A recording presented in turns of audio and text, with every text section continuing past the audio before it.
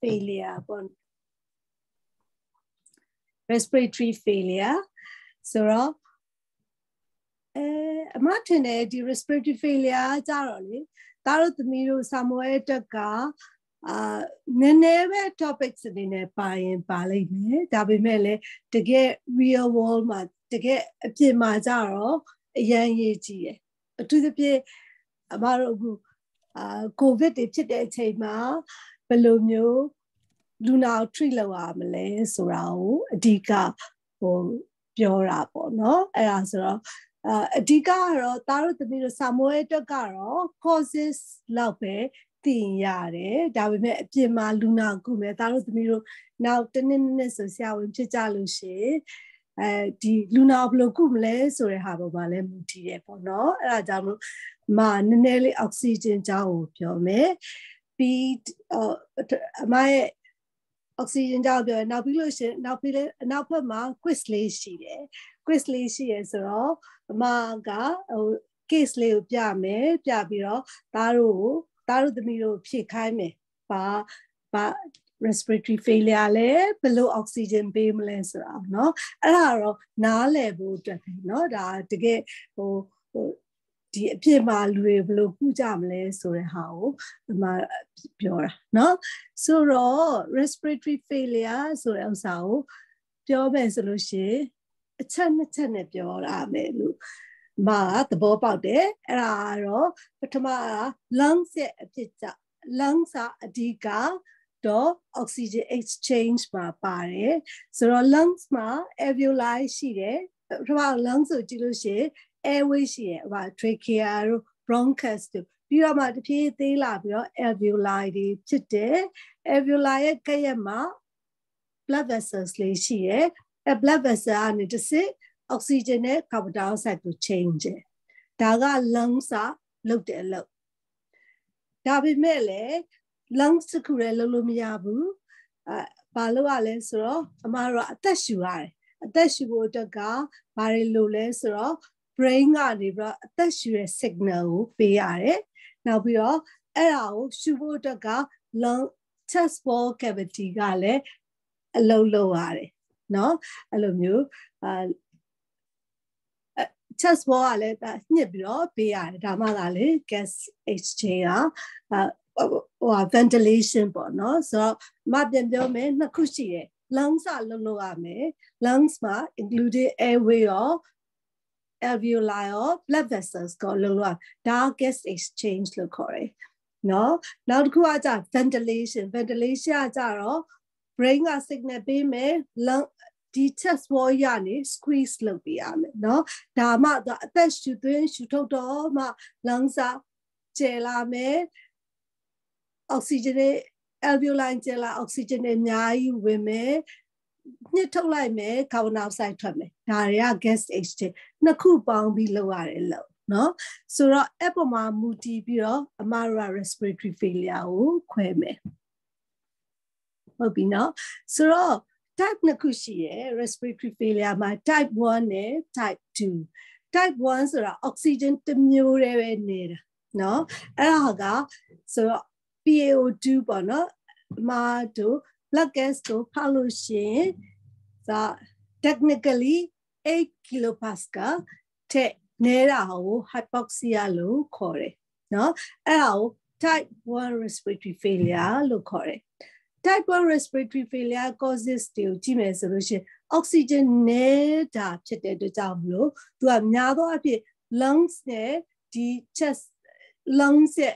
အဖြစ် ပေါ့နော် lungs ရဲ့ blood vessels ရဲ့အဖြစ်ခုနကပြောတဲ့ဒီ gas exchange ရဲ့အဖြစ်နော် alveoli နဲ့ blood vessels တွေရှိရဲ့ gas exchange ရဲ့အဖြစ်ပါ type 2ကကြတော့ကတော့ oxygen နည်းတယ်ကာဗွန်ဒိုင်အောက်ဆိုက်တက်လာတယ်အဲ့သဘောကဘာလဲဆိုတော့ oxygen နည်းတာဆိုတော့ तू က lungs က oxygen ကို exchange မလုပ်နိုင်ဘူးနောက်တော့ကာဗွန်ဒိုင်အောက်ဆိုက်များတယ်ဆိုတာ waste product ဖြစ်တဲ့ကာဗွန်ဒိုင်အောက်ဆိုက်ကိုထုတ်မပေးနိုင်ဘူးထုတ်မပေးနိုင်တာ lungs ကိုယ်တိုင်ကလည်းဖြစ်ဖြစ်မဲ့ ventilation failure ပေါ့နော် lungs ရဲ့အဖြစ်ဖြစ် तू ကအရာ exhaust ဖြစ်သွားပြီးတော့ဖြစ်သွားတာလည်းဖြစ်နိုင်တယ်။နောက် brain တို့ chest wall cavity ရဲ့အဖြစ်တွေလည်းဖြစ်နိုင်တယ်ဆိုတော့ဒီနှစ်ခုကိုစဉ်းစားကြည့်လို့ရှိရင်အမာတို့ cost တွေထွက်လာပါပဲเ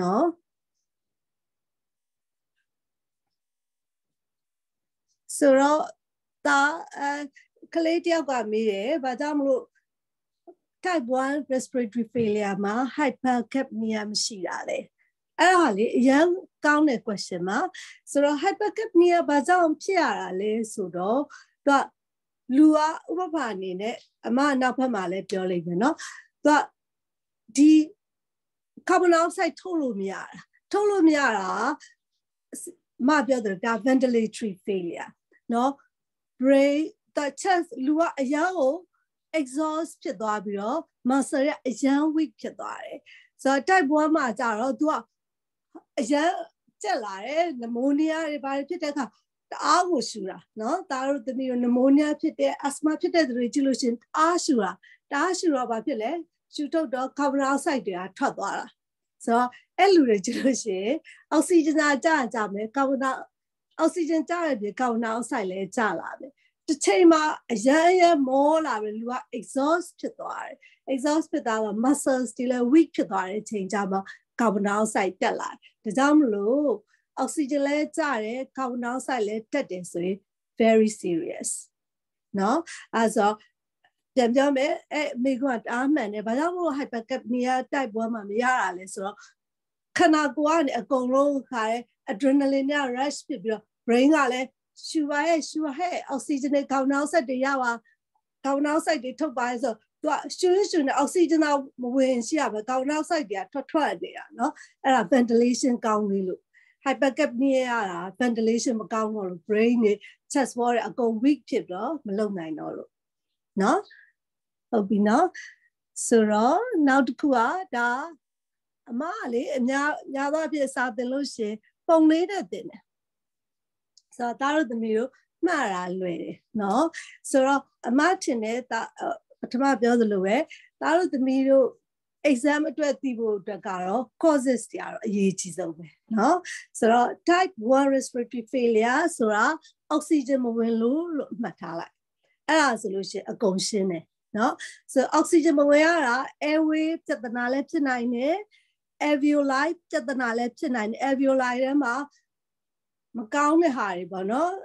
ဝင်နေလို့လည်းဖြစ်နိုင်တယ်ဒါမှမဟုတ် alveoli အပြင်ကနေပြီးတော့ဖိလိုက်တော့ဒီ alveoli နဲ့ collapse ဖြစ်သွားတာလည်းဖြစ်နိုင်တယ်နောက်ကြတော့ gas exchange ဟာ blood vessel မှာရှိတဲ့သွေးတွေကအောက်ဆီဂျင်ပြဿနာလည်းဖြစ်နိုင်တယ်ဆိုတော့အဲ့ဒါကိုစဉ်းစားလိုက်လို့ရှိရင်သားတို့ဘာ cost လေလဲဆိုတာရှင်းရှင်းလေးသိမယ်နော်ဆိုတော့ airway ပြဿနာလေးစမယ်နော်ဆိုတော့လေကိုဝင်လို့မရတဲ့ပြဿနာပေါ့နော်အရန်ကို severe COPD နဲ့သူ့ရဲ့ bronchus တွေကနေပြီးတော့ဟိုဟိုတပတ်တော့ပြောဆိုတော့ bronchus ကအရန် tight ဖြစ်ပြီးတော့လေကိုဝင်လို့မရတဲ့ပြဿနာလည်းဖြစ်နိုင်တယ်အဲ့ဒါ COPD တို့ very severe asthma နော် asthma ရိုးရိုးကအောက်ဆီဂျင်မကျဘူးအရန်ကိုဆိုတော့မှကြားဘာလို့ asthma normal airway normal airway ကိုနော်သူကတအားကို type ဖြစ်ပြီးတော့ရန်ကို type ဖြစ်တဲ့ asthma မှာဖြစ်မယ်ဒါ airway ပြဿနာနောက်တစ်ခါကျ alveoli ကိုကြည့်လိုက် alveoli ထဲမှာသားတို့သမီးတို့အထက်မှာသူကအောက်ဆီဂျင်ကဟိုကနေပြီးတော့ airway ကနေဝေးရမှာကွာအထက်မှာမကောင်းတဲ့ဟာတွေရှိနေလို့ရှင်လေအောက်ဆီဂျင်က blood vessels တွေကိုမရောက်နိုင်ဘူး for example pneumonia တွေ အမားတို့ရဲ့ဟိုဟာ covid ပါ covid ပါเนาะအခုဖြစ်နေကြတဲ့ covid infection တွေ ARDS ARDS acute respiratory distress syndrome ပေါ့เนาะသူက lungs တခုလော infection ကို body ကနေ overwhelmingly เนาะအားကိုစိုးစိုးဝါးဝါ inflammation process နဲ့လုပ်လိုက်လို့ ARDS ရတဲ့သူတွေ lungs မှာ scarring ဖြစ်တဲ့သူတွေအထဲမှာ pulmonary edema ပေါ့အဲ့လိုမျိုးဖြစ်တဲ့သူတွေမှာလေအောက်ဆီဂျင်ကျနိုင်တယ်နော်နောက်တစ်ခုကနောက် arrow အောက်က arrow တစ်ခုကပါတယ် lungs ထဲမှာမဖြစ်ဖဲနဲ့ lungs ရဲ့အပြင်ကနေပြီးတော့ alveoli ကို collapse ဖြစ်အောင်လုပ်လိုက်တဲ့ဟာလည်းဖြစ်နိုင်တယ်အဲ့ဒါ pleural ထဲမှာတစ်ခုခုရှိလို့ပေါ့နော် pleural မှာ pleural effusion ကြီးဖြစ်လို့ဖိပြီးတော့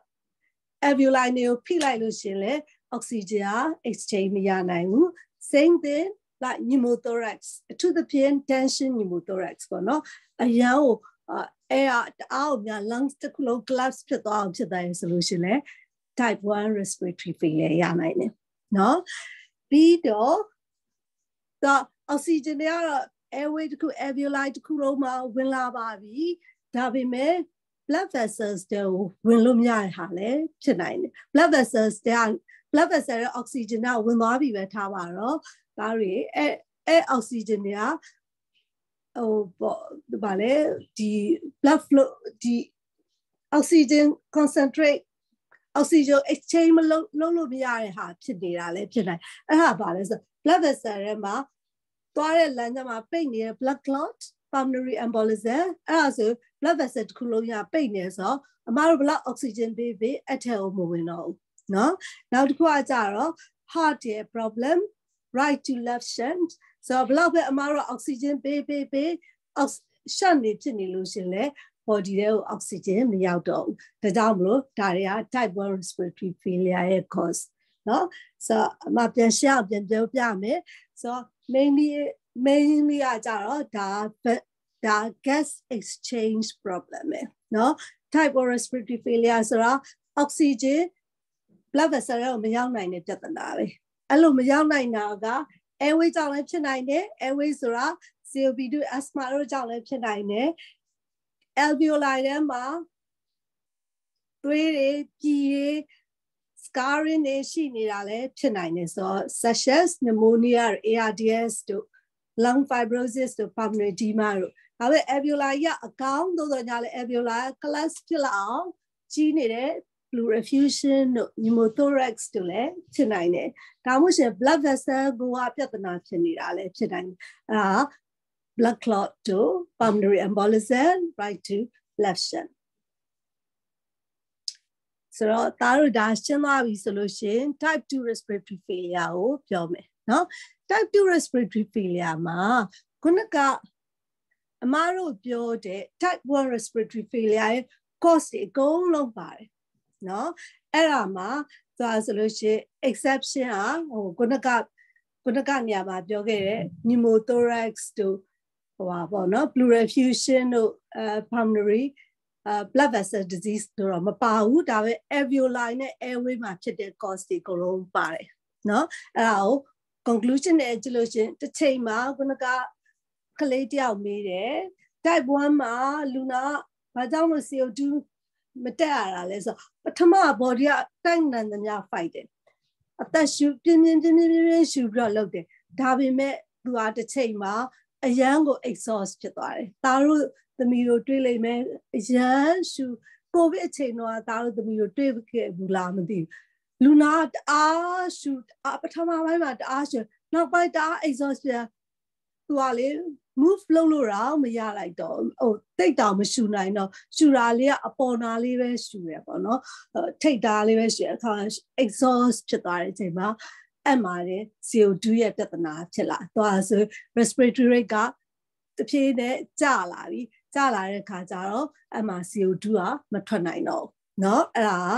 ပြဿနာပဲဒါဒါက type 1နေ type 2 respiratory failure ကိုပြောင်းသွားပြီအဲ့လိုပြောင်းပြီဆိုတော့ အရန်ဆိုရယ်လူနာသေဖို့ပဲများတယ်เนาะအဲ့ဒါကို ventilation tube မထည့်နိုင်လို့ရှင်သေဖို့များတယ်အရန် poor prognosis ပဲဆိုတော့ဒါ type 1ကနေ type 2ပြောင်းတဲ့ကိစ္စနောက်တစ်ခုကကြတော့ body ဟိုနော် lungs ကတော့ကောင်းနေတယ် body ကမရှူနိုင်မရှူနိုင်တဲ့အချက်က brain ကနေ signal မရလို့လည်းဖြစ်နိုင်တယ် chest wall မှာရှိတယ် chest wall ဆိုတာ အမတို့ rib cage တွေရှိတယ်ဒါတို့ physio မှာဒါတို့သမီးတို့ physio မှာသင်ရတယ် rib cage ရှိတယ်မှာဆိုလို့ရှိရင် blood vessels တွေရှိရယ် nerve တွေရှိရယ်အဲ့ဒါတွေရဲ့ပြဿနာဆိုတော့ brain ကနေစမယ်ဆိုတော့ commonest cause ကပါလဲဆိုတော့ drug overdose ပေါ့နော်ဟိုအဖြစ် not only ဟို intravenous like heroin မဟုတ်တောင်မှအမတို့ morphine တွေပါအများကြီးပေးတာများပါလို့ရှင်လေ ဖြစ်နိုင်တယ်နောက်တစ်ခုကကျတော့ stroke ပေါ့နော် the brain ရဲ့ signal မလာတဲ့အခါမှာလည်းဖြစ်နေအဲ့ဒါတော့ brain stem stroke လို့မျိုးပေါ့နော် major stroke massive stroke ရလို့ရှင်လဲဖြစ်တယ်ဒါမှမဟုတ် brainstem မှာရှိရဲ့ respiratory system ကြီးကိုသွားပြီး stroke ရခဲ့လို့ရှင်လည်းဖြစ်တယ်အဲဒါ brain ကဟိုကတက်ရှူမရှူခိုင်းတော့ဘူးဆိုတော့အဲ့လူတွေကိုကြည့်လိုက်လို့ရှိရင်ဒါတို့သမီးတို့ဟိုသင်ရမယ် chain stroke respiration သိရမလား ရှူရှူရှူရှူရှူရက်ရှူလိုက်ရက်လိုက်နောက်တဖြည်းဖြည်းနဲ့ကြားတဲ့အခါမှာရက်တာတွေကပူပူပြီးတော့များနေ apneic attack တွေကများတယ်အဲ့အခါမှာ CO2 level climb up ဖြစ်သွားဘာကြောင့်ဆိုမရှူထုတ်နိုင်တော့ဘူးဒါကြောင့်မလို့ countdown side level တက်လာတယ် same thing like သူကဆိုရင် chest wall မှာဖြစ်တဲ့ဟာပေါ့နော်ဥပမာအနေနဲ့ quadriplegia နော် major အာကာ accident ရတယ်ဗာတခု accident ရလို့ cervical အာ spinal cord မှာဖြစ်ခဲ့လို့ရှိရင် chest wall ကိုသွားမယ် nerve တရားဖြစ်သွားတယ်ဖြစ်သွားတဲ့အခါကျတော့အသက်မရှူနိုင်တော့ဘူးအဲ့ခါမှာ CO2 level တက်တယ်နောက် Guillain-Barré disease နောက်တစ်ခုကကြတော့ဟိုပါပေါ့ motor neuron နောက်ပိုင်း motor neuron တွေပိုပိုပိုပိုဆိုးလာလို့ရှိရင် CO2 level တဖြည်းဖြည်းနဲ့ climb ဖြစ်သွားတယ်ဆိုတော့ဒါ type 2 respiratory failure ရဲ့ cause ပဲဆိုတော့ type 2 respiratory failure ရဲ့ cause မှာအမပြောသလို type 1ရဲ့ severe ဖြစ်တဲ့ end ပေါ့နော် airway တွေ alveoli တွေအရန် severe ဖြစ်တဲ့ end လေပါသွားနိုင်တယ်ဒါမှမဟုတ်ရှင်အသက်ကိုကရှူမထုတ်နိုင်တဲ့ဟာတွေပေါ့နော် brain nerve signal ပေါ့နော်ဒါ respiration ဆိုတာသားတို့သမီးတို့သိတဲ့ respiratory center နေတစ်စစ် chest wall ကိုလာရတာဒါမှ chest wall ရအသက်ရှူထုတ်အသက်ရှူသွင်းဒီလိုလုပ်တာအဲ့ဒါတွေပြဿနာတွေမှာလဲ type 2 respiratory failure ဖြစ်တယ်ဟုတ်ပြီနော်ဆိုတော့တေချာနာထောင်တာနော်နောက်ဖက်မှာ question တွေလာတယ်ဖြေရမယ်ဆိုတော့အဲ့လူတွေဘယ်လိုလာမလဲเนาะအဲ့လူတွေဘယ်လိုလာမလဲဆိုတော့ဘယ်လို present လုပ်တယ်လဲပုံမှာမူတည်တယ်เนาะဆိုတော့ အမဒီမှာစာအနေနဲ့ရေးထားတယ်ကအမပါဇက်လေးနေဟိုဟာပေါ့နော်တားတို့သမီးတို့မြင်အောင်လို့ပြောပြမယ်နော်လူနာတယောက်နော်သူကရုတ်တရက်ကြီးဖြစ်တယ်ဥပမာဖြစ် covid pneumonia ဖြစ်တယ်ပဲထားပါတော့ covid pneumonitis ဖြစ်တယ်ဆိုလို့ရှိရင်ရုတ်တရက်ကြီးပါဖြစ်မလဲဒါ simple ပဲမောတာပေါ့နော်မောတဲ့ခါကျတော့ဘာဖြစ်လဲလူနာအသက်တွေပြင်းပြင်းတအားပြင်းရှူရတယ် နော်မောအဲ့ဒါ type 1 respiratory failure အမှပြောနေတာနော်တက်တွေတအားပြင်းရှူရတယ်လူနာကိုကြည့်လိုက်ကြလို့ရှိရင်သူကပြာနှမ်းနေမယ်နော်ပြာနှမ်းနေမယ်နောက်တဖြည်းဖြည်းနဲ့အောက်ဆီဂျင်ဆိုတာလူရဲ့ brain body mechanism တွေ body တွေကိုသွားရတာအောက်ဆီဂျင်တအားကြတအားကြဆိုနည်းနည်းကြတာပေါ့အများကြီးကြဟိုဟာဖြစ် 60%ပေါ့60ရာခိုင်နှုန်းတို့80ရာခိုင်နှုန်းတို့ရှိခဲ့လို့ရှိရင် brain ကိုမပေးနိုင်တော့ brain ကိုမပေးနိုင်တဲ့အခါမှာလူနာစေသိပ်တော့ response မလုပ်တော့ confused ဖြစ်လာပြီเนาะသူကသိပ်တော့ response မလုပ်နိုင်တော့ဘူးအဲ့လိုမျိုးဖြစ်တာ rapid onset ပဲเนาะဒါသားတို့သမီးတို့မြင်အောင်လို့ပြောတာဒါ ဒီပထမ conscious level ကြာ oxygen ရွေးဖြစ်တဲ့အကြောင်းအရာဆိုပထမပိုင်းကတော့မောတယ်ပြီးတော့မှအရန် oxygen တအားကြာလို့ရှင်မောပြီးတော့ conscious level ကြာသွားတယ်နော်အဲ့ဒါဆိုတအား serious ဖြစ်တယ် conscious level ကြာတာတအား serious ဖြစ်တယ်တကယ်လို့ oxygen လည်းကြာတယ် conscious level လည်းကြာတယ်ဆိုတော့ဒီလူနာတိတ်မကောင်းနော်အဲ့ဒါဆို treatment သူကသူကိုယ်တိုင်အသက်ရှူလို့မရတော့တခုတော့ပြရတော့နော် နောက်တစ်ခုအကြတော့အဲ slow on slow onset ကများသောအားဖြင့်ဘယ်လိုလူမျိုးတွေဖြစ်တတ်တယ်လဲဆိုတော့ခုနကအမပြောတယ်ဟိုပါပေါ့နော်ဒီ motor neuron disease တို့နော်ဒီဟိုဗာလဲဒီ motor neuron disease တို့ COPD တွေအရန်ကြာလို့ရှင်ဖြစ်တဲ့ဟာတွေပေါ့နော်ဆိုတော့အဲ့ဒါဘယ်လိုမျိုးလဲဆိုတော့ လူနာအောက်ဆီဂျင်ကျတယ်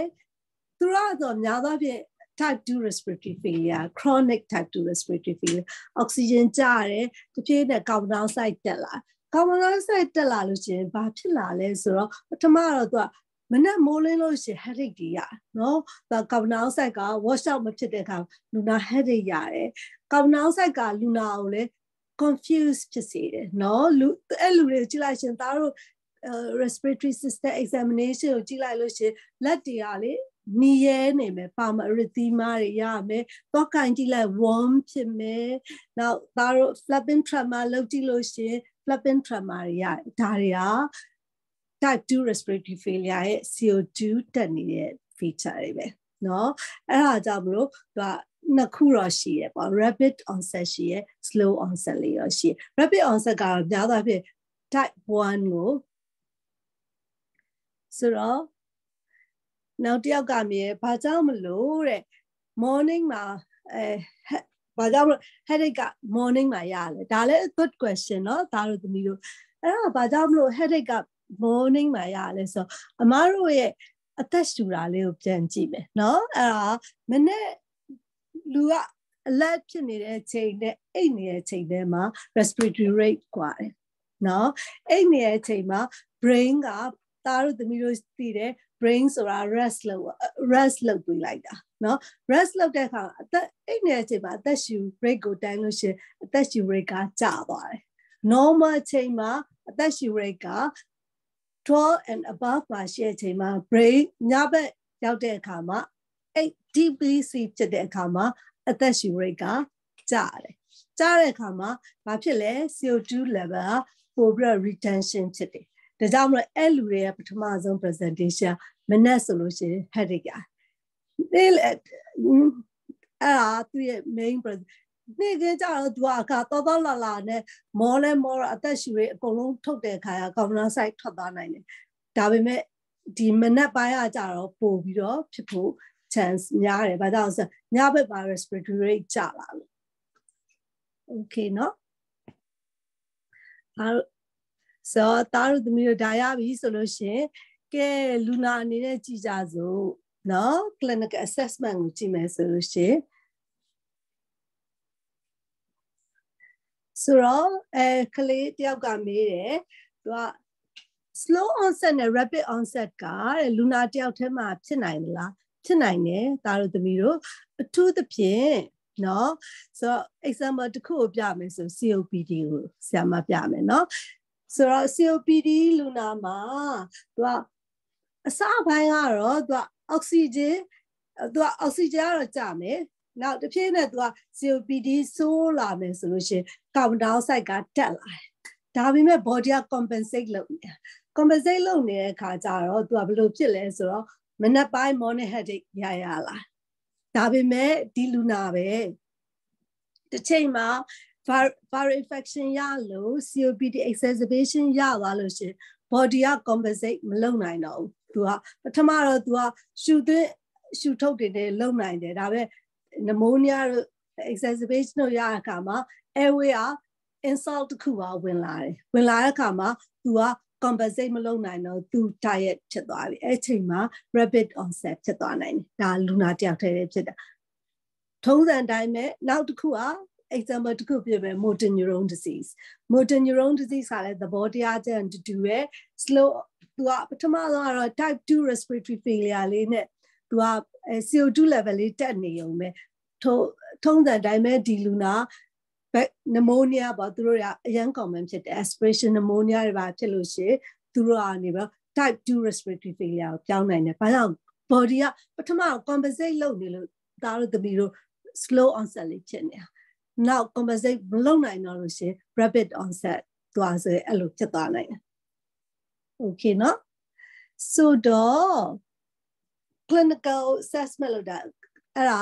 အမကုနကပြောတဲ့အတိုင်းပဲလူနာကို history မေးလိုက်ရှင် onset လေးတော့မေးမယ်နောက်ကြ feature of hypercapnia ဆိုအမပြောတယ်မနက်ပိုင်း headache ရတာတိုက်ရက်ဖြစ်တာเนาะအာခေါင်းကလည်းကြိုက်တယ်ညနေလဲဆိုလို့ရှိရင် အယောင်အိတ်ကြိုက်တယ်အဲ့ဒါက CO2 high ဖြစ် CO2 တက်နေတဲ့သူတွေရဲ့ feature ပဲเนาะအဲ့ဒါ history ကဒါ slow onset တွေအတွက်သွားရလူနာတယောက်ကိုကြည့်လိုက်ရှင်သားတို့သမီးတို့ examination ကိုကြည့်လိုက်ရှင်ဒါလူနာမောနေတဲ့လူနာသားတို့သမီးတို့မြင်မှုမှာပေါ့เนาะမြင်မှုလို့ရှင်ဘာလုပ်ရမလဲဆိုတော့ဒီ type 1 2 respiratory failure cash လုပ်တဲ့အပြင် history လေးကဟိုဗာလဲ causes လေးပါလောက်ရမယ်။ဘာကြောင့်ဆိုတော့သူ့ရဲ့ treatment မှာဟော cause ကို treat လုပ်ရမှာအောင်เนาะဆိုတော့လူနာကိုကြည့်လိုက်ရှင်လူနာအရင်မောနေမယ်။ပြနေမယ်เนาะ respiratory rate တက်နေမယ်เนาะ အဲ့ဒါအရန်ရေးကြည့် respirate သားတို့သမီးတို့ဟိုမထင်တယ် respiratory examination အထူးသဖြင့် acute onset ကြီးလာနေတဲ့လူမှာအရေးကြီးဆုံး respiratory rate နဲ့ conscious level ပဲ ဒီဟာမူဒီတော့ဘာ treatment ပေးရမလဲဆိုတာကွာသွားတယ်เนาะ examination ကတော့တားတို့သမီးတို့လုပ်နိုင်တယ် inspection လုပ်လို့ရှိရင်အရန်မောနေမယ်လူနာပြာနေမယ်ခါကြရင် conscious level ကျနေလိမ့်မယ်เนาะဒီဆဲစာကျနေလိမ့်မယ်နောက်ကြတော့ဟိုလက်ကိုလှုပ်လို့ရှိရင် flapping tremor ရမယ်ခုနကလက်လေးကိုကန်ကြည့်လို့ရှိရင် warm ဖြစ်နေပြီးတော့ red ကလေ ပါမ arrhythmia လို့ခေါ်တာပေါ့နော်အဲ့ဒါ CO2 level feature တွေနောက်ကြတော့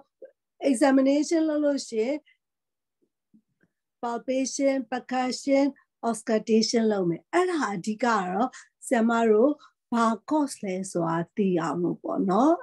ဆိုတော့ main အရန်ကိုမောနေသူကိုညံ့ညံ့ examination လုပ်ချင်တယ်ဆိုရင်တားတို့တပီတို့ဘယ်လိုလုပ်လဲဆိုတော့အဓိကကတော့ pulp ဟာပေါ့နော် systematically တော့သွားတာပေါ့နော်အရေးကြီးဆုံး examination ပါလဲဆိုတော့ percussion နဲ့ auscultation နဲ့နော် percussion ဟိုဘက်ဒီဘက်အပြိုင်ခောက်ကြည့်နော်ဟိုချက်ဟို right side နဲ့ left side နဲ့အပြိုင်ခောက်ကြည့်အဲ့မှာ hyper resonant ဖြစ်နေရဆိုတော့ possibility က pneumothorax ပဲနောက် dull ဖြစ်နေဆိုရင်လ ည်း pleural effusion ဖြစ်နိုင်တယ်နောက်နားထောင်ကြည့်မယ်နားထောင်ကြည့်လို့ရှိရင် crackles တွေကြားနေသလားအဲ့ဒါဆိုရင် pneumonia တွေဖြစ်နိုင်တယ် crackles မှာတစ်ဖက်ပဲကြားနေရဆို pneumonia ဖြစ်နိုင်တယ် crackles ကနှစ်ဖက်စလုံးကြားနေရဆိုလို့ရှိရင်တော့ဒါဟွာပေါ့ pulmonary edema တို့ ARDS တို့ဖြစ်နိုင်တယ်နားထောင်ကြည့်လို့ချင်း wheezy တွေကြားနေမယ်ဆို COPD asthma တွေဖြစ်နိုင်တယ်နော်အဲ့ဒါအပြင်သွားစေ conscious level လေးကိုဆရာအမပြောသလိုပဲကြည့်ရတယ်နော်နောက်မှ retrospectively အမတို့ blood gas တွေပါဖောက်လို့ CO2 တက်နေရဆိုတော့ neurology examination နောက်မှလုပ်ပါနော်ဒါပေမဲ့လူနာကိုယ်ရှိမှလည်းမောနေတယ်ဆိုလို့ရှိရင်တော့ neurology examination ဟိုနောက်မှပြန်ပြီးစဉ်းစားရမယ်ဟာပေါ့နော်ဒါပဲ part of the examination မှာ neurology examination ပါတယ်ဟုတ်ပြီနော်ဆိုတော့ အမပြောသလိုပဲဒီလိုမျိုးလှုပ်လိုက်တယ်လှုပ်ပြီးတော့ investigation wise ကကြတော့ဒါကလေ blood gas ဖောက်မယ်เนาะဒါတို့သမီးတို့ blood gas ဖောက်မယ်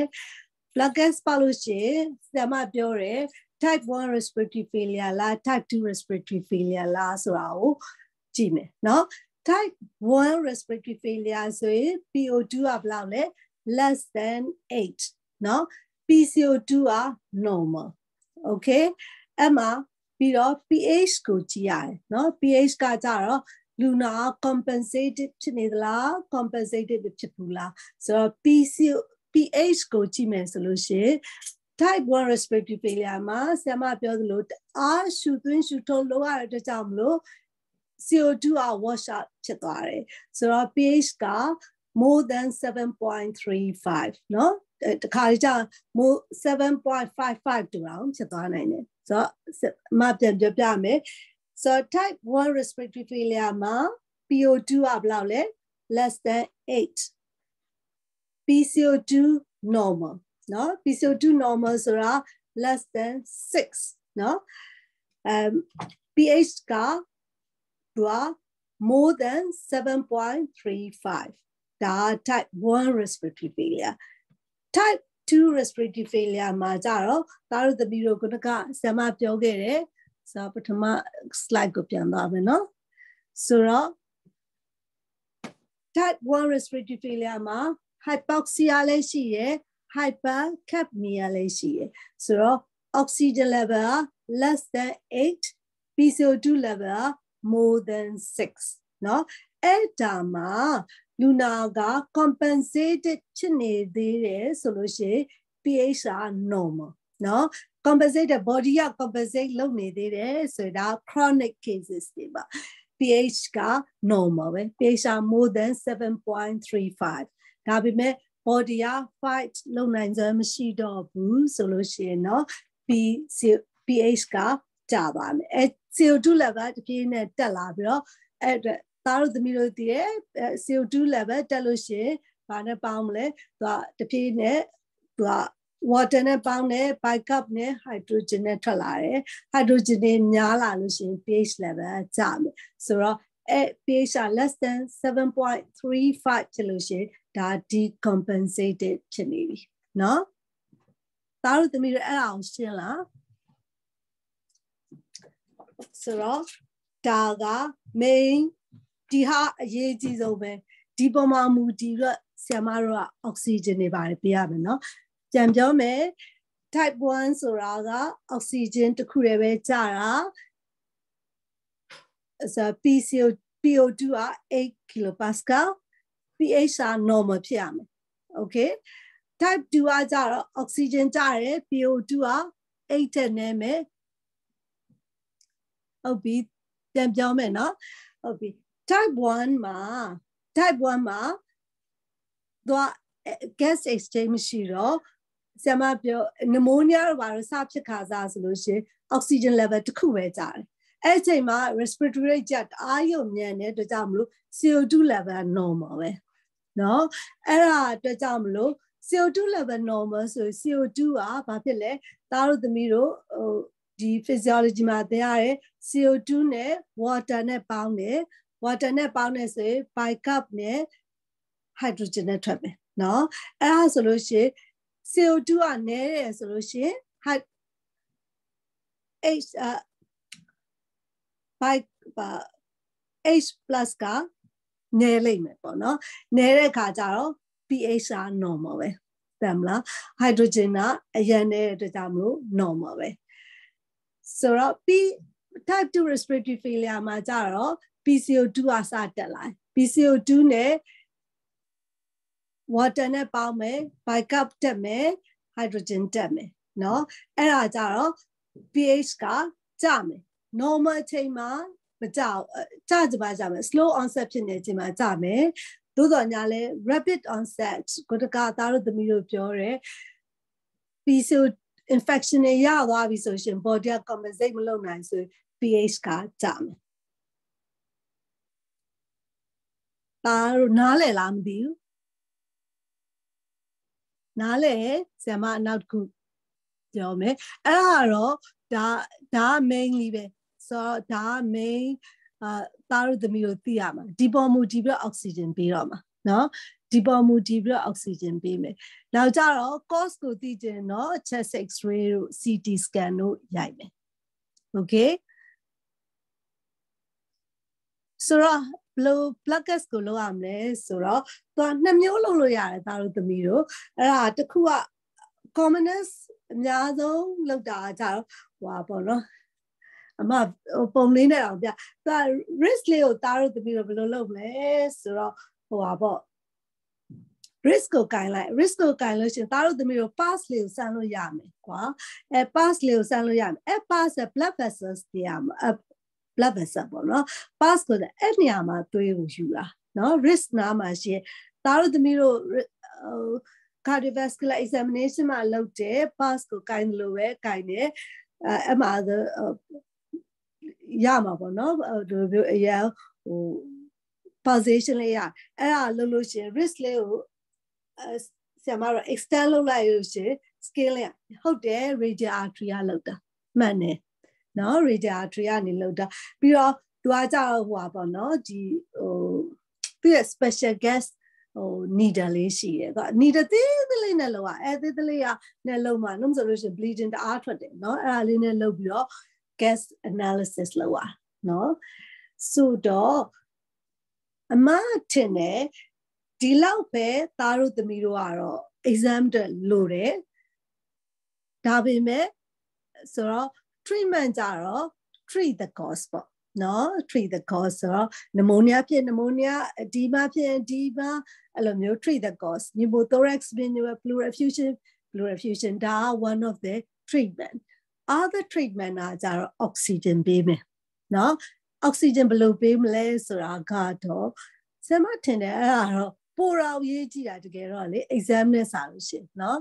ဆိုတော့ဒါက oxygen ပေးဖို့အစဉ်စစ် အဲ့ဒါလည်းဖြည်းဖြည်းချင်း absorb လုပ်မှာပဲရမယ်နော်ဆိုတော့ဆရာမအမအမ1 2ဆိုတော့တာတာတို့သမီးတို့ chest what is a chest x-ray feature respiratory failure uh respiratory failure chest x-ray တို့ CT တို့ရိုက်တာဘာကြောင့်မလို့ respiratory failure ဖြစ်ရလဲ cause ကိုရိုက်တာနော်ဒါတို့သမီးတို့နမိုးနီးယားကြီးတွေ့ရတာလား blue refusion တွေတွေ့ရတာလား ARDS တွေတွေ့ရတာလား covid pneumonitis cause ကိုသိအောင်လို့ဆိုတော့ဆရာမတို့ကနှစ်ခုကူရတာပေါ့နော်တစ်ခုကကြောင့် cause ကိုကူရတယ်အဲ cause ကိုကူရတဲ့အခါမှာဥပမာနမိုးနီးယားဖြစ်လို့ရှိရင်ဟိုဟာပေါ့ antibiotic ပေးမယ်ဟို antibiotics တို့နော်တခြားဟာပေါင်နေဒီမှာဆိုရင် ပေးမယ်ဒါပေမဲ့အဲ့ဒါရချက်ချင်းမပြောက်သွားဘူးလေဒါတို့တမျိုး9မိနစ်7မိနစ်တွင်မပြောက်ဘူးလေအဲ့ဒါရချက်ချင်းမကောင်းတော့ကအဲ့ဒီကောင်းတဲ့အချိန်စေးအာနိသင်ရတဲ့အချိန်ဒီကအောက်ဆီဂျင်ကကျနေဦးမှာဆို treat the cause plus oxygen တို့ carbon dioxide တို့ wash out လုပ်ရမယ်ဒါသဘောကိုပြောတာเนาะဆိုတော့ respiratory failure ရဲ့ cause ကိုသိကြလို့ chest x-ray တို့အာ CT တို့ရိုက်တာเนาะ ဆိုတော့ဒီမှာအောက်ဆီဂျင်ပေးတာနော်ဆရာမပြောတယ် type 1 respiratory failure ဆိုတာအောက်ဆီဂျင်ကျတာနော်အောက်ဆီဂျင်ကျတာဆိုတော့ဒါဆရာမရှင်းအောင်လို့ step တွေနဲ့ပြောတာနောက်ပြီးနည်းနည်းပြန်ရှင်းအောင်ပြန်ပြောမယ်ဆိုတော့အောက်ဆီဂျင်ကဟိုပေးတဲ့အခါမှာအောက်ဆီဂျင်ဘလောက်လိုလဲပေါ်မူတည်ပြီးတော့အောက်ဆီဂျင်ပေးပုံပေးနည်းတွေ꿰သွားတယ်နော်ဆိုတော့ you you should ကဆရာမတို့နေဆက်ကညူလာနော်နံပါတ်1အာနေဆက်ကညူလာနေဆက်ကညူလာနဲ့ပေးတဲ့လူအားကြတော့6လီတာတဲ့ပို့ပြီးတော့ပေးလို့မရအောင်6လီတာတဲ့ပို့ပေးသားတို့6လီတာလောက်ပဲသူက absorb လုပ်နိုင်တယ်သားတို့ဘလောက်ပဲအောက်ဆီဂျင်ပတ်မှာ10တို့15တို့သားတို့တပီတို့ increase လုပ်လဲ သူ့ကိုယ်ရဲ့သွားနိုင်တာ6လီတာပဲဒါ delivery device ရဲ့ပုံအာဟိုပါပဲ design ပဲเนาะဒါ nasal cannula နဲ့ပြင်6အပြင်လုံးဝပေးလို့မရဆိုတော့6 step ပို့ပေးရတယ်ဆိုတော့တခြားတခြားဟာသုံးပြီးတော့เนาะဆိုတော့6 step ပို့ပေးရလို့ရှိရင်နောက်တစ်ခုက Venturi mask ဆိုတာကိုသုံးမယ်เนาะအဲ့ဒါဆရာမပုံလေးပြမယ် Venturi mask เนาะ ဆိုတော့ venturi mask ကဒီမှာ mask လေးတွေ့တယ်နော်ဒါမျက်နှာမှာ face mask ဒီပုံမှာဆို blue လေးတွေ့တယ်နော်အဲ blue လေးကိုပဲပြောင်းသွားတာ blue လေးကိုမှဥပမာအနေနဲ့ဆိုတော့ oxygen 8 liter 8 liter ပေးမယ်ဆိုလို့ရှင် yellow ပြောင်းတယ် oxygen increase လုပ်လိုက်တယ်နော်။ဘာကြောင့် delivery system ဒီနည်းနဲ့ပဲသွားလို့ရတယ်။ဟိုဘာဖြစ်60%ပေးမယ်ဆိုလို့ရှင် green ကိုပြောင်းတယ်ပြောင်းလို့ရတယ် ဆိုတော့တာတာတို့သမီးတို့ကဆိုတကယ်လို့တဲ့နေစကန်ယူလာနေ6လီတာကပိုထက်ပိုပေးလို့ရှင်ဘာဖြစ်သွားလဲဆိုတော့ waste ဖြစ်တယ်။သူ့ကို6လီတာပဲရ။ oxygen သူ့ရဲ့ delivery ဟိုကသူကဒီထက်ပိုပေးလို့မရဘူးဘာကြောင့်လဲဆိုတော့သူ့ရဲ့ဒီအားရသမီးတို့နေစကန်ယူလာထည့်ဘူးလားအဲ့ဒါမှသူ့ရဲ့ mask ကနဲ့နှာခေါင်းနဲ့ကြားထဲမှာ ဝေးနေသေးတယ်သူ့မှာ gap တွေရှိတယ်နော် gap တွေရှိတယ်သူကဟိုပါပေါ့ဘယ်လိုပြောမလဲအကုန်လုံးကိုမဝင်နိုင်တော့ဘူးဘလောက်ပေးပေးတသားသားတို့ဘလောက်ပေးပေးနော်ဟိုပါပြန်နှာခေါင်းလေးသေးလို့နေစကန်ယူလာ fit ဖြစ်တယ်လားဆို diffusion problem ရှိနေတယ်เนาะအဲ့လောက်ပဲပေးနိုင်တယ်6 liter ပဲပေးနိုင်တယ်ဒါကြောင့်မို့ဆရာမတို့က mass ကြီးအုပ်လိုက်ရเนาะ mass ကြီးအုပ်လိုက်တော့မှ ကိုပေးခြင်းတဲ့ liter ကိုအမှပေးလို့ရဆိုတော့တားတို့သမီးတို့တွေ့ပဲဟာ mass အုပ်ထားပြီးတော့ type တစ်ခုနဲ့ပေးလို့ရမရဘူးဒါဒီအတွက်ကို design လုပ်ထားတာသူကသားတို့သမီးတို့8ပေးလို့ရှိရင်ဒီအယောင်ကဒီပေး8လီတာပေးလို့ရှိရင်ဒီမှာရှိရဲ့သားတို့သမီးတို့ Venturi Mass တရားကျ8လီတာပေးလို့ရှင်အဲဒီ cup လေးကတစ်မျိုးเนาะ15လီတာပေးလို့ရှင်အဲ 10လီတာပေးလို့ရှင် cup ကတစ်မျိုး cup အမျိုးမျိုးပြောင်းတော့ပြရဘာကြောင့်လဲဆိုတော့ delivery system ကသူတို့ design လုပ်ထားတာမတူဘူးเนาะအဲ့ဒါမှအိုးဟို color ကလေဟိုဒီဘက်ကပေါ်ကလေဒါဒီဘက်က အမနှစ်ခုရှင်ထားဟိုဘက်က non breather เนาะ non breather ခဏထားလိုက်ဒီဟာကအခုပြောနေ venturi mask venturi mask ကသာ color ပြောင်းနေတာ နော်ဘာကြောင့်လဲဆိုတော့သားတို့ပေးတဲ့ oxygen မှာမူတည်တဲ့ percentage မှာမူတည်ပြီးတော့ color ပြောင်းသွားတာနော်အဲဒီအဲ့ဒါကကြံပြောမယ်နော်ဒီမှာကြည့်နေစကန်ယူလာ6 liter တဲ့ပို့ပေးလို့မရဘူးနော်ပြီးတော့ venturi mass venturi mass ကသူက50 60တဲ့ပို့ပေးလို့မရအောင် so that mean that 10 what ဟိုပါပေါ့နော်10 liter 12 liter တဲ့ပို့ပြီးပေးလို့မရအောင်နော်ဒီတဲ့ပို့လို့လာပြီဆိုသားတို့ non rebreather နဲ့ပေးရအောင်နော်ဥပမာအနေနဲ့လူနာတယောက်လာတယ်လူနာစလာတဲ့ဟာအောက်ဆီဂျင်60%နော်60% on air အဲ့လိုမျိုးနေစကန်ယူလာနဲ့သားတို့လုံးဝပေးလို့မရနော်သားတို့သမီးတို့သိတယ် အောက်ဆီဂျင်1လီတာ1 1လီတာပေးမှ12%ပဲထွက်တက်တယ်နော်အောက်ဆီဂျင်1လီတာပေးမှ percentage က SPO2 12% 10 to 12%ပဲတက်တယ်ဆိုတော့အဲ့လူနာကိုသားတို့6လီတာပေးလဲမတက်ဘူးဆိုတော့အောက်ဆီဂျင်အရန်ကျနေလို့ရှင်ပထမဆုံးလောက်ရမှာနောက်မှနောက်ဟာနောက်ရှင်အောက်ဆီဂျင်ကျလို့ heart ကိုအောက်ဆီဂျင်မရဘဲ arrest ဖြစ်ပြီးသေမှာအရင်ဆိုတော့အောက်ဆီဂျင်ကိုအရင်ပေးရမယ်ဆိုတော့အောက်ဆီဂျင်60 40%ဖြစ်နေပြီဆိုဆရာမတို့ non rebreather ကိုပေးရမယ်နော်ဆိုတော့ဟို non rebreather မှာဟိုက color မပါဘူးနော် venturi mask မှာဒါ color ပါ non rebreather ဘယ်လိုပေးမလဲနော်ဒါလေးကသားတို့သမီးတို့ normal circumstance မှာလေသုံးလို့ရအောင်လို့ဆရာမပုံလေးထည့်ပေးတာဆိုတော့ non rebreather ကိုကြည့်လို့ရှိရင်ဒီမှာသူက bag လေးရှိရယ်ကွာဒီမှာ bag လေးနဲ့ mask လေးနဲ့တက်ထားတယ်ဆိုတော့အဲ့ bag ကိုပထမဆုံး inflate လုပ်ရတယ်နော်အာယူ balloon ကြီးလို့ inflate လုပ်ရအဲ့လို inflate လုပ်ဖို့တက်ကဒီထိတ်နားလေးမှာကပ်ပြီးအပပြထားတဲ့ပုံမှာဟိုပါပေါ့ဟိုလက်ညိုးလေးနဲ့အဲဒီ valve လေးကိုခဏလေးပိတ်လိုက် ပိတ်လိုက်ပြီးအောက်ဆီဂျင်ရင်ထည့်ပြီး rebreather oxygen တင်းလာတော့မှတားလို့ပေးလို့ရနှုံးဆိုလို့ရှိရင် partially rebreathe ဖြစ်လို့ရှိရင်ပိုပေးတဲ့ oxygen ပေးလို့မရအောင်ဆိုတော့ဒီဟာနည်းနဲ့ပေးနိုင်တာဘယ်လောက်လဲ15 liter maximum 15 liter ပေးနိုင်တယ်ဆိုတော့ oxygen အရန်ကျနေတယ်လူနာကဘာဖြစ်60 70ဆိုရင်ဒါတို့အသေးလေးရတော့မစနဲ့အကြီးဆုံး big gun နာလည်းစတော့ non rebreather ပဲပေးစပေးတော့ เนาะအဲ့လိုပေးဆိုတော့အဲ့ဒါကိုရှင်းတယ်ဆိုလို့ရှိရင် now step ကိုသွားမယ်เนาะဆိုတော့ဆိုအမတို့နေစကန်ယူလာပြောပြီးပြီ venturi mask ကိုပြောပြီးပြီ nasal breather ကိုပြောပြီးပြီเนาะ non rebreather ကိုပြောပြီးပြီအဲ့ဒါက15 liter တဲ့ဆိုတော့အဲ15 liter တဲ့လေအောက်ဆီဂျင်ထပ်မတက်လာဘူးဆိုလို့ရှိရင် ဆရာမတို့မှာရှိခဲ့လို့ရှိရင်ဘာပေးမလဲဆိုတော့ high flow nasal cannula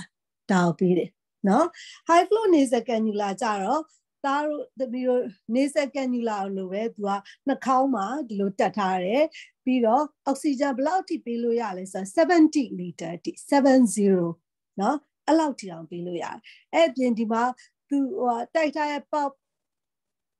ပိုက်ပိုက်အဆုံးမှာဆိုလို့ရှင်ဆက်လေးရှိရမလားအဲ့ဆက်လေးမှာကြတော့သူကဗာလဲ humidify လဲလုပ်လို့ရတယ်ဆိုတော့သူက70လီတာလူနာတယောက်ကို mask ကြီးအကြာကြီးပေးထားလို့ရှင်စားစားတဲ့တောက်တဲ့ခါမှာလဲဟိုဟာထုတ်ပြီးတော့စားရအောင်เนาะအဲ့ဒါကြာခက်တယ်နောက်ကြအောက်ဆီဂျင်အများကြီးလိုတယ်ဆိုရင်ဒီနီးနဲ့ဆရာမတို့ပြီးလို့ရတယ် high flow နေစကန်နီလာ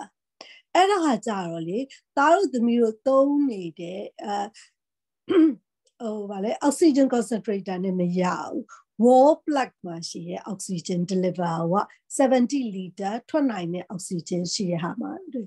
အမတင်တဲ့ဒီဟာတွေကကြတော့မြန်မာပြည်မှာဆိုတော့ intensive care unit တွေမှာဆိုလို့ရှိရင်ရှိလောက်တယ်เนาะဆိုတော့ဒီလိုနီးနဲ့လည်းအောက်ဆီဂျင်ပေးလို့ရတယ်ဒါမှမဟုတ်ရှင်ဒီအောက်ဆီဒီနီးနဲ့အောက်ဆီဂျင်ပေးတာတော့မတက်ဘူးဆိုလို့ရှိရင် now step အနေနဲ့ပါလဲဆိုတော့ seatbelt machine ပြီးရယ်နော် seatbelt machine ကကြတော့ဒါ helmet seatbelt လို့ခေါ်တယ်နော် helmet သူကအဲ့ဒီကနေ oxygen ကိုပေးရယ် seatbelt ဆို continuous positive airway pressure ဆိုတော့ oxygen ပြင် pressure ပါထည့်ပေးလိုက်တာဆိုတော့သူရှူရတာတက်တာဒါရဲအကုန်လုံးက oxygen ကိုပဲ correct လုပ်တာနော်ဟုတ်ပြီနော် အဲ့ဒါမှမရလို့ရှင်တော့နောက်ဆုံးကတော့ ventilation ပဲကျုပ်ထဲအောင်နော်ဆိုတော့အမပြန်ပြီးတော့ recap လုပ်မယ်ဒါပါလဲဆိုတော့နေစကန်နူလာက6 liter ပဲပေးလို့ရတယ်အဲ့ထက်ပိုများလာလို့ရှင် Venturi mask ကိုပေးတယ်အဲ့ဒါလည်းသားတို့သမီးတို့တည်ရဲ့10လီတာလောက်ပဲပေးလို့ရမယ် အဲ့ထက်ပိုဆိုးတဲ့အောက်ဆီဂျင်လည်းတအားကြတယ်ဆိုတော့ non rebreather เนาะအထူးသဖြင့် lunar arrest ဖြစ်တော့ခဏီးချိန်ဆိုလို့ရှိရင်တော့ non rebreather ကိုသုံးတယ်သုံးတဲ့နည်းကိုလည်းဆရာမပြထားတယ်ဘာကြောင့်လဲဆိုတော့အဲ့ဒါအောက်က back က inflate ဖြစ်မှသူဟာ15 liter ရမယ်အဲ့ဒါမှမရဘူးဆိုလို့ရှိရင်ဆရာမတို့နံပါတ်4ဖြစ်တဲ့ high flow nasal cannula ကိုပေးတယ်လူနာအဲ့ဒါမှအောက်ဆီဂျင်မရအောင်ဆိုလို့ရှိရင် CPAP နော်ဒါဆိုဒီ mask နဲ့ပေးရတယ် CPAP CPAP က1 pressure ပဲ continuous pressure နော်အဲ့ဒါမှပြရစီ intubation လောက်ရတယ်နော်အဲ့လိုပြောလို့ဟိုတစ်စင်ပြီးတစ်စင်လောက်ရမလားဆိုတော့မဟုတ်ဘူးလူနာပေါ်မှာမူတည်တယ်နော်လူနာပေါ်လူနာအာမောနဲ့အောက်ဆီဂျင်စကြနေပြီဆိုလို့ရှိရင်တော့သားတို့သမီးတို့အလွယ်ဆုံးက non rebreather စပြီးပေးနောက်ပြီးမှအောက်ဆီဂျင် set ကို တိုင်းပြီးတော့ကောင်းလာပြီဆိုနောက်ကိုပြန်ပြီးတော့ဟိုပါ step down လုပ်တာပို့ပြီးတော့ကောင်းတယ်အောက်ဆီဂျင်တော့အရင်ဆုံးရအောင်လုပ်ပေးမယ်နော်ဒါမှမဟုတ်လူနာအရန်မောအောက်ဆီဂျင်လည်း60 70ကျ conscious level လည်းတအားကြပြီဆိုလို့ရှိရင်တော့ဘာလုပ်ရမလဲဆိုတော့ကျုပ်ပဲထည့်ရအောင်နော်အဲ intensive care unit ထဲသွားနော်ဒါကတော့တားတို့သမီးတို့အမကဟိုပါပေါ့နော်ဒီဟိုအဖြစ်မှာလူနာတွေ ခုမဲ့တားတို့သမီးတို့ဆရာဝန်ဖြစ်လို့ရှိရင်ဒါတွေကအရေးကြီးတဲ့အတွက်ကြောင့်မျိုးထည့်ပေးတာအမပြောလို့ exam အတွက်တော့ဟိုအသုံးချခြင်းပါကြာနော်ဆိုတော့ type 2 respiratory failure နော် type 2 respiratory failure မှာတားတို့သမီးတို့သိတယ်သူကအောက်ဆီဂျင်နည်းတယ်ကာဗွန်အောက်ဆိုက်ထက်တယ်ဆိုတော့အောက်ဆီဂျင်နဲတာကိုအောက်ဆီဂျင် pipeline နဲ့ပေးလို့ရတယ်ဒါကတော့ကျူမှာပေးလိုက်တာကာဗွန်အောက်ဆိုက်ကကြာသူ့ကိုဆက်နဲ့ပေးမှာပဲ wash out ဖြစ်မယ်ဆိုတော့အဲ့ဒါ bi level ventilation เนาะ bi level ventilation ဆိုရက် BiPAP ကိုပေးရเนาะအဲ့ဒါကြတော့သူကဒီ machine သူ့ machine နဲ့ရှုခိုင်းလိုက်တာပေါ့เนาะ machine နဲ့ရှုခိုင်းလိုက်တယ်အဲ machine ကပဲ CO2 ကိုထွက်သွားထုတ်အောင်လုပ်ဒါကြောင့်သူကတအားတိုက်ရဖြစ်နေပြီ machine ခူလိုက်တာเนาะအဲ့ဒါကိုပြောတာဆိုတော့အဲ့ဒါတွေဆရာမပြောသလို ခုနကလောက်တာတွေနဲ့လောက်ကြည့်ရမရဘူးဆိုလို့ရှင်တော့ဘာလုပ်မလဲ invasive ventilation ပဲဆိုတော့ဒါ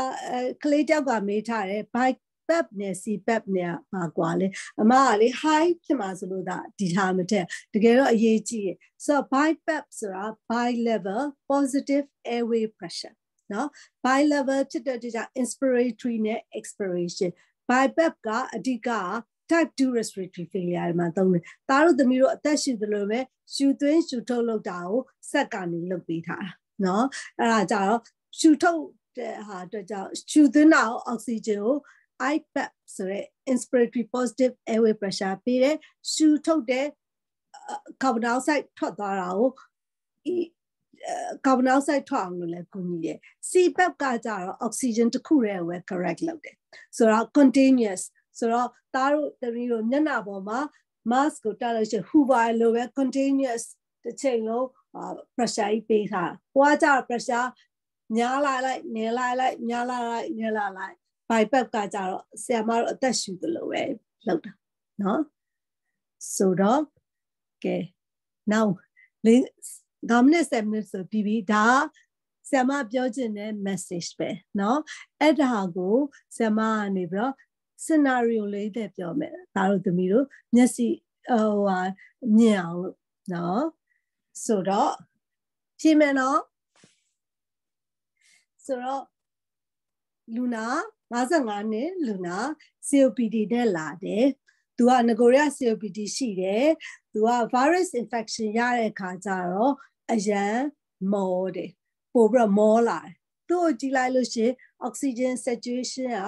78% on room air okay ဆိုတော့အရန်ကြာနေတယ်เนาะနောက်ကြတော့ तू ကရှုလို့လည်းမရဘူးစကားပြောလို့ရှင်လဲ short sentence ပဲရတယ်ဒါရဒါရနားထောင်ကြည့်လို့ရှင် wheeze တွေရှိရယ်ဆိုတော့ ဘာဖြစ်လဲ COPD exacerbation chest x-ray လုပ်လို့ရှိတော့လဲ COPD changes ဟိုတစ်ဘက်ကပြောတယ် COPD changes တွေပဲတွေ့ရတယ် pneumonia တွေမတွေ့ရဘူးเนาะအဲ့မှာလူနာ78%ဆိုဆရာမတို့က15 liter oxygen ပေးလိုက်တယ်ပေးလိုက်တဲ့အခါမှာเนาะကြည့်မယ်ဒါဒါဘာ respiratory failure လဲလို့ဆရာမမေးချင်တာเนาะဆိုတော့ pH ကိုခဏလေးထားလိုက် PCO2 two kPa as a papium lay type 1 la type type 2 la. Mane type type 2 respiratory failure for be no emma so po2 are 17.1 so oxygen ma jao da ba oxygen ဘာကြောင့်လဲအမတို့အောက်ဆီဂျင်တွေအများကြီးပေးလို့အောက်ဆီဂျင်တွေတက်နေတာဆိုတော့ pH ကိုကြည့်မယ် pH က7.17 normal လား low ဖြစ်နေလား high ဖြစ်နေလား acidosis လား alkali yeah ဟုတ်တယ် low ဖြစ်နေတယ်ဆိုတော့ acidosis เนาะအဲ့ဒါကဆိုတော့လူနာ compensation မလုပ်နိုင်တော့ဘူးเนาะ compensation မလုပ်နိုင်တော့ဘူးဆိုရင်ဒါ type 2 respiratory failure ဒါပေမဲ့သူကဘာဖြစ်လဲ decompensation decompensation ဖြစ်နေတယ်เนาะဒါ pH တအားကျနေပြီဆိုတော့ဘာ treat ဘာဟိုဘာ treatment ပေးဘလဲ so type 2 respiratory failure ရဲ့ only treatment က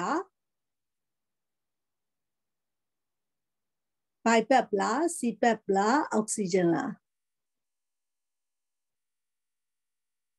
ဆိုတော့ type 2 respiratory failure မှာမှန်တယ် BiPAP เนาะ BiPAP ကိုပေးတယ်အဲ့ဒါကိုပါကောင်နောက်ဆိုင်ထွက်သွားမယ်ဟုတ်ပြီเนาะ treat the cause COPD အတွက်လည်း treat လုပ်မယ်ဆရာမတို့ steroid တွေပေးမယ်အဲ nebulizer တွေပေးမယ်ဟို antibiotic ပေးသင့်ပေးမယ်ပြီးလို့ရှိရင် oxygen ပြန် adjust လုပ်ပြီးတော့ BiPAP ပေးမယ် okay တော်တယ်ကလေးတွေတော်တယ်နောက် ဥစ္စာ scenario 2เนาะဒါကလေဟိုဆရာမဆေးရုံမှာတွေ့ရတဲ့တကယ် real case ပဲเนาะ45 years old man ဆိုငငယ်ရွယ်အသက်ကောင်းရှူ2 days fever and cough pneumonia symptoms တွေနဲ့လာတယ် chest x-ray ကဘာဖြစ်လဲ right middle lobe pneumonia တွေ့နေတယ် SPO2 က92% on air ဆိုတော့ကြည့်တော့ normal နီးပါးပဲเนาะဒါပေမဲ့45နှစ်လူသားတယောက်92%ဆိုပြောရင်တော်တော်နည်းတာเนาะအမတို့တိုင်းအောင်မှာ90 90 90အမြဲရှိတာဆို92%နဲ့ဆိုတော့ကဲ blood gas ကိုကြည့်ကြမယ်ဆိုတော့ တခြားဟာမကြည့်နဲ့ PCO2 က4.3 normal လား abnormal လားမနဲ့ normal เนาะ PO2 က7.4 normal လား abnormal လား abnormal high ဖြစ်လား low ဖြစ်လား low ဖြစ်တယ်ဒါဆိုလို့ချင်းဘာ respiratory failure လဲ Type 1 respiratory failure မှန်တယ်သူလူနာကိုကြည့်လို့ရှိရင် pH ကိုကြည့်မယ်ဆိုတော့ဆရာမပြောတယ် PCO2 က normal ဖြစ်တော့ pH ကလည်း normal ဖြစ်ဖို့ပဲများတယ်ဆိုတော့ pH က7.38ဆိုတော့ normal ဆိုတော့ဒါ type 1 respiratory failure ဆိုတော့ treatment အနေနဲ့သူကလူနာကလည်းမစိုးဘူးအောက်ဆီဂျင်92%ပဲဆိုတော့အမားတို့က ရိုးရိုးအောက်ဆီဂျင်ပဲပေးထားတာပေါ့နော်ဒါဆိုအောက်ဆီဂျင်ရိုးအနေနဲ့ပေးထားတယ် maybe နေစက္ကန့်နူလာနဲ့ပေးထားလို့94 95လောက်ဆိုရင်ကောင်းသွားတာပေါ့နော်နော်အဲ့ဒါဆိုအောက်ဆီဂျင်ပေးမယ်နော် treat the cause pneumonia treat လုပ်မယ်အောက်ဆီဂျင်ပေးမယ် okay right ဒီလူနာပဲ၄နာရီကြာတော့ nurse ကပြန်ခေါ်တယ်ဒီလူနာအားဆိုးသွားပြီဆိုတော့ ဆရာမတို့8လီတာသူကခုနက2လီတာပေးရနေအောက်ဆီဂျင်8လီတာတင်တာတော့မှအောက်ဆီဂျင်78%ပဲရှိတယ်လူနာကလည်းခေါ်လို့မရတော့ဘူးเนาะဆိုတော့ဒီ blood gas ကိုကြည့်မယ်ဆိုတော့တခါ PCO2 ကပဲစကြည့်မယ်ခုနကတော့ PCO2 normal เนาะဒီဒီလူနာ45နဲ့ PCO2 level ဘယ်လောက်ဖြစ်သွားပြီ11.2 အဲ high လားလို့လား high နော်ဆိုတော့ type 2ကိုပူသွားပြီနော် PO2 က6.1ဒါ8လီတာပေးထားတဲ့လူနော်အောက်ဆီဂျင်နည်းလားများလား low ဆိုတော့အဲ့နှစ်ခုကြည့်လို့ရှင်ဘာ failure လဲ type 1လား type 2လား type 2 okay so အမ compensate လား compensate မဖြစ်တာလားဆိုတာ pH နဲ့ကြည့်မယ် pH 7.29ဆိုတော့သူက pH က low ဖြစ်လား high ဖြစ်လား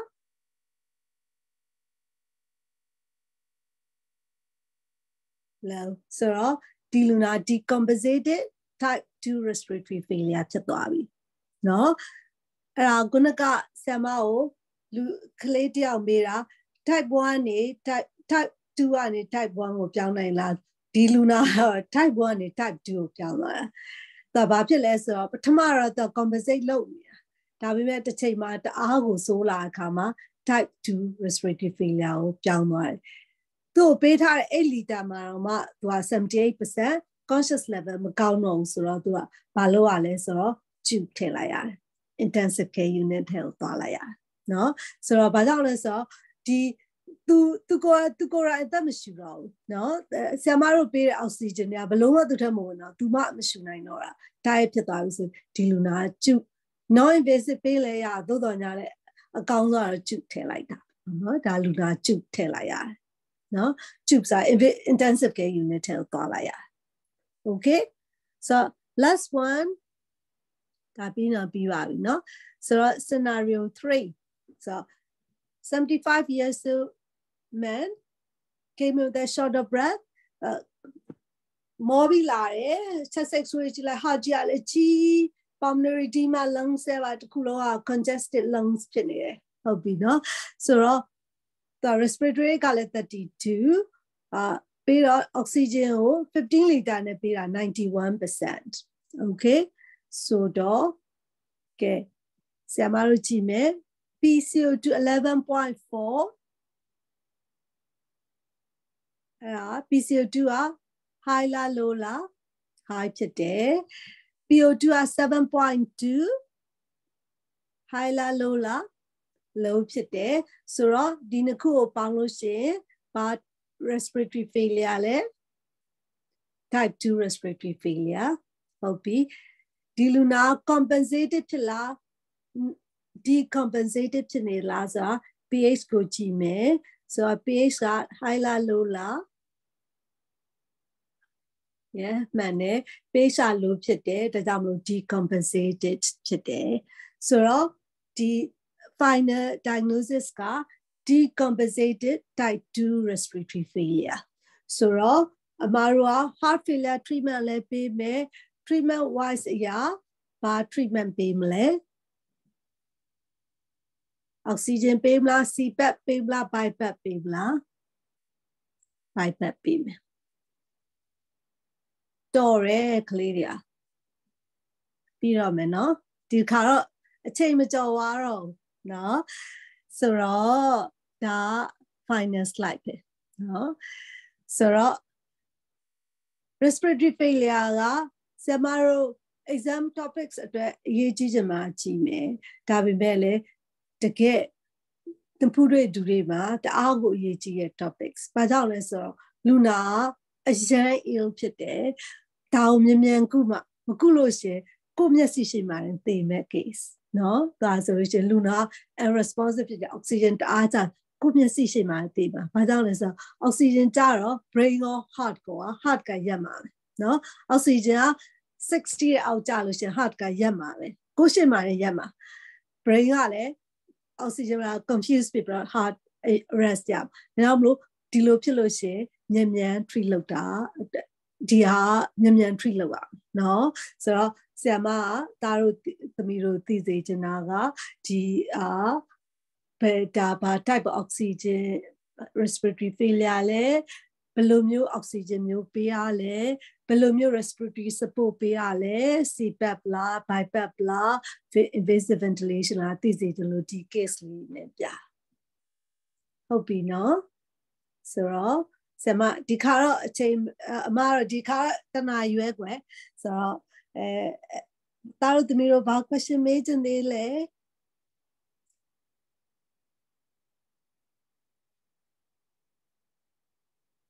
ဆို မေးတော့ဆိုလို့ရှင် thank you နော်တားတို့သမီးတို့နော်ကျေးဇူးနော်အမအရန်ကောင်းတယ်ကျေးဇူးပါအမရာဆို stop sharing လုပ်လိုက်တော့မယ်နော်ထပ်လိုက်တော့မယ်နော် thank you ပါ